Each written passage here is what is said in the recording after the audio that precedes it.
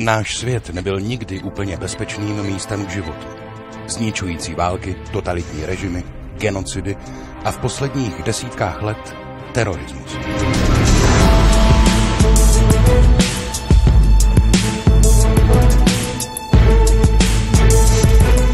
Česká republika není odlehlým ostrovem.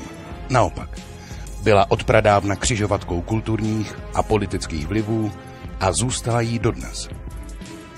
Bezpečnostní informační služba je spravodajská organizace kontrarozvědného typu. Působíme výhradně na území České republiky a bráníme bezpečnostní a ekonomické zájmy státu.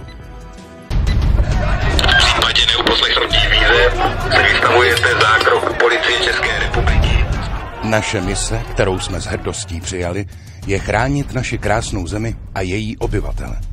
Tvoříme obraný štít proti zájmům cizích mocností, neustále prověřujeme, zda nejsou v ohrožení naše svobody a demokratický vývoj v zemi, rozkrýváme pozadí pokusů o poškozování ekonomických zájmů státu a z našeho hledáčku neunikne ani organizovaný zločin. No 3 and Depot Street.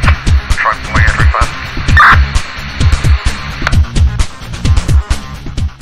Bezpečnostní informační služba je přísně apolitická organizace. Pracujeme, jak už název napovídá, s informacemi.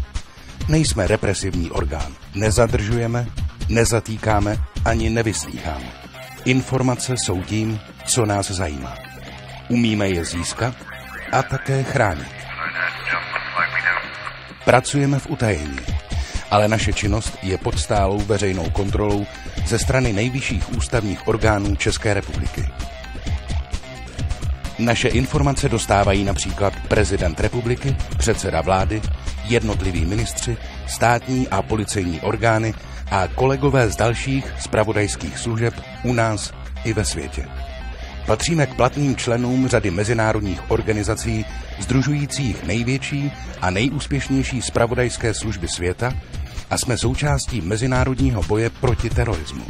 Naše mise stojí na důvěře občanů, kdy každý z nás může přispět k tomu, že naše země bude bezpečným a svobodným místem k životu.